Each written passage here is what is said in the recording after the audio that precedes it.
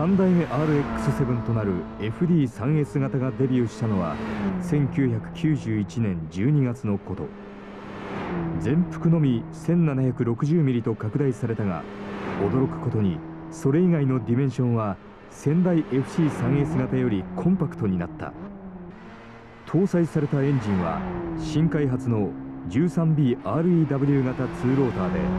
これに低速域で1機高速域では2機のタービンで下級を行うシーケンシャルツインターボを組み合わせ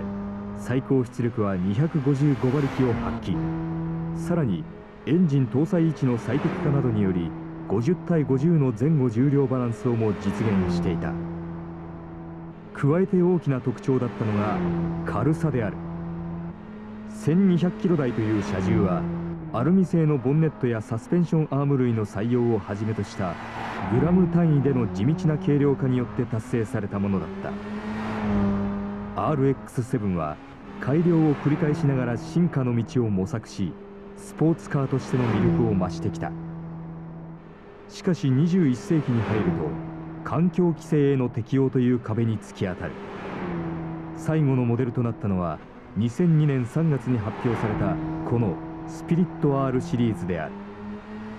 最終モデルらしいこだわりが随所に散りばめられたスピリット R だが